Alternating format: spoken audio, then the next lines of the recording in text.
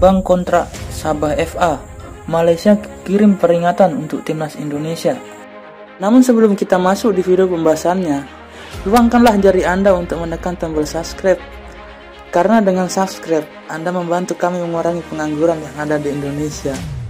Piala AFF U23 2022 akan berlangsung di Kamboja pada tanggal 14 sampai 26 Februari mendatang. Malaysia pun unjuk kebolehan dalam laga uji coba dengan imbang 1-1 kontra Sabah FA. Tanding di Stadion Likas Sabah, Malaysia unggul lebih dulu melalui gol Sarafanan pada menit 76.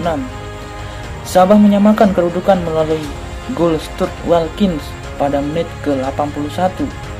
Usai laga, pelatih Malaysia Brett Maloney memuji permainan api pasukannya dalam pertandingan ini. Dia seperti mengirim peringatan kepada setiap lawan di Piala AFF U23 2022 bahwa pasukannya punya kualitas. Sekedar informasi, Malaysia dan tim nasional Indonesia U23 sama-sama tergabung di grup B. Selain kedua tim, grup B juga diisi oleh Laos dan Myanmar. Saya senang dengan penampilan kami. Kami bermain tanpa rasa takut kami menciptakan beberapa peluang bagus, terutama di babak pertama, kata Maloney. Ada kombinasi permainan yang bagus di antara lini untuk pertandingan persahabatan.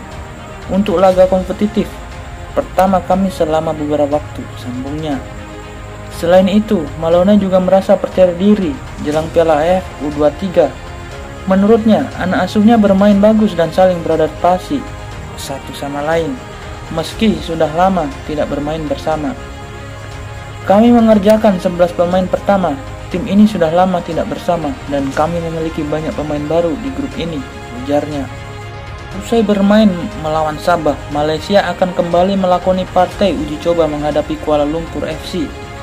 Laga tersebut akan digelar pada Kamis tanggal 10 Februari 2022 sebelum terbang ke Kamboja keesokan harinya.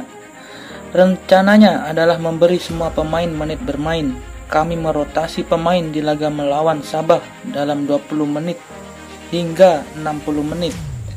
Hal yang sama juga akan kami lakukan di laga melawan Kuala Lumpur, terangnya.